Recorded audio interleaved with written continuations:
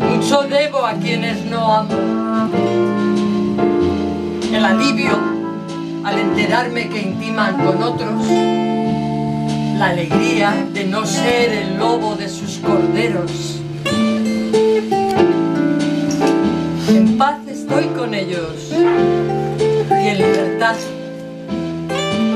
Dos cosas que el amor no puede dar ni sabe tomar.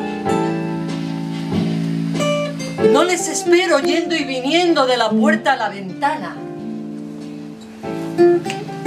Con la paciencia de un reloj de sol, comprendo lo que el amor no comprende. Perdono lo que el amor jamás perdonaría.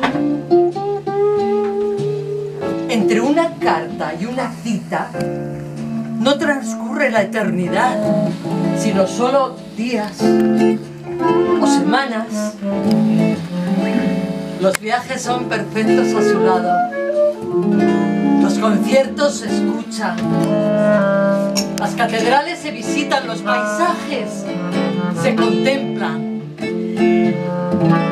Y cuando siete montes y ríos nos separan, son montes y ríos señalados en el mapa suyo de aquellos a quienes no amo es el mérito de poder yo vivir en tres dimensiones.